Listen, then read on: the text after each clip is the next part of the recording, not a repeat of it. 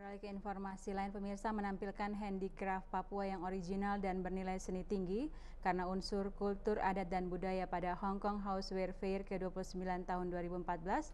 Papua memboyong dua seniman atau pengrajin Papua, Agus Ongge, seniman lukisan kulit kayu, dan Alusius Sesau, seniman ukiran dari Asmat.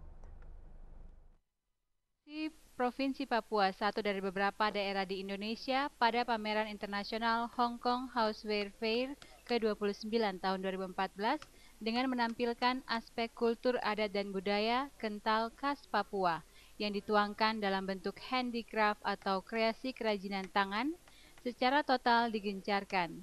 Keseriusan tersebut terbukti dengan langsung memboyong dua seniman handicraft Papua, yaitu Agus Ongge, seniman lukisan kulit kayu dari Sentani, dan pemahat Alusius Sesao, fokus pada seni ukir asal Asmat.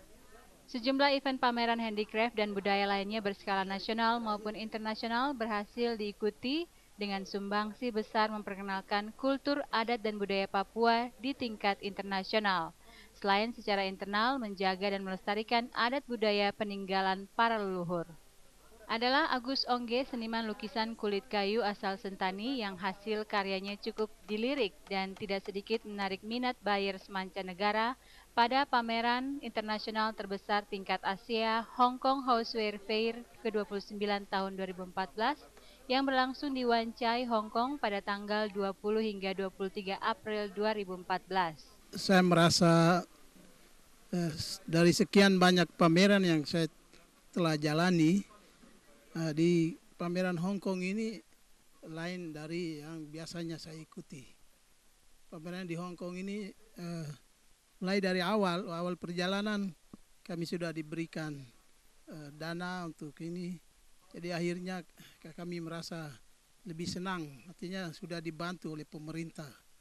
Karena pemerintah itu uh, harus melihat pengrajin-pengrajin atau orang yang uh, tekun dalam bidang seni budaya ini. Agus Ongge sendiri mengaku kerap mengikuti pameran di Indonesia maupun di luar negeri dengan memamerkan kreasi seni lukisan di atas kulit kayu dan pangsa pasarnya cukup prospektif, yakni dengan adanya handicraft shop yang terdapat di Singapura dengan buyers internasional yang menjanjikan.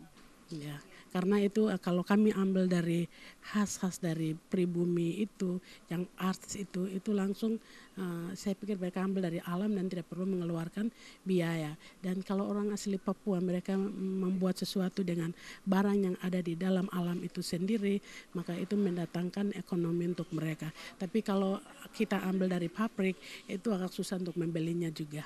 Dan kami ingin memperkuat itu yang art-art dari Papua asli itu. Sementara itu pemirsa partisipasi Papua dalam Hong Kong Houseware Fair ke-29 tahun 2014, Papua menampilkan handicraft ornamen yang memiliki nilai seni adat dan kultur semakin sempurna dengan performa tarian tradisional khas suku Dani Pegunungan Tengah Papua. Tarian tenggek oleh Sanggar Oya Onok yang berarti pembawa perubahan bagi Papua Bangkit binaan Nyonya Yulce WNMB SH. Dikisahkan dalam suatu pertemuan keluarga, maka bertemulah seorang pria dari satu kampung dengan gadis dari kampung lainnya dari kawasan pegunungan tengah Papua, tepatnya suku Dani. Pihak keluarga laki-laki kemudian melakukan prosesi adat tukar gelang. Keluarga dari pihak laki-laki dan perempuan pada prosesi adat mengekspresikan kebahagiaan dengan bernyanyi dan menari riang gembira menyambut kedatangan sang perempuan untuk menjadi bagian dari keluarga laki-laki. Prosesi pemindangan pun dilakukan syarat dengan ungkapan-ungkapan berbahasa daerah yang disuarakan melalui lagu dan irama, sembari dimainkan iringan musik tradisional.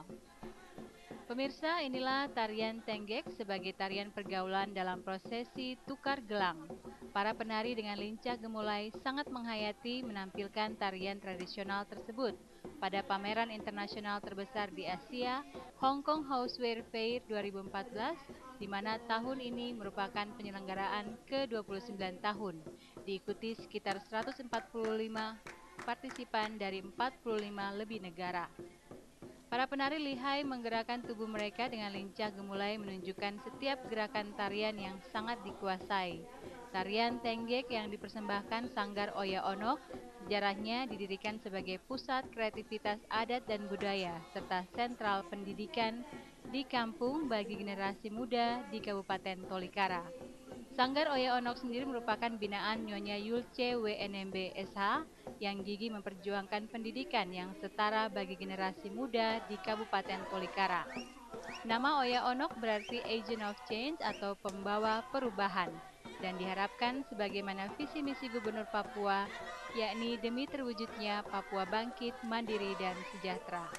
Ini orang-orang yang tidak pernah melihat kota besar, kota-kota kecil pun tidak pernah lihat dan ini ya dan kami harus adil melakukan. Tidak tidak sepihak tapi kami adil dan kami percaya bahwa eh, Tolikara bagian pegunungan itu belum pernah keluar maka hari ini pertama kami harus membawa keluar supaya semua orang melihat bahwa kami uh, di Provinsi Papua kami sudah ada 50 lebih tahun.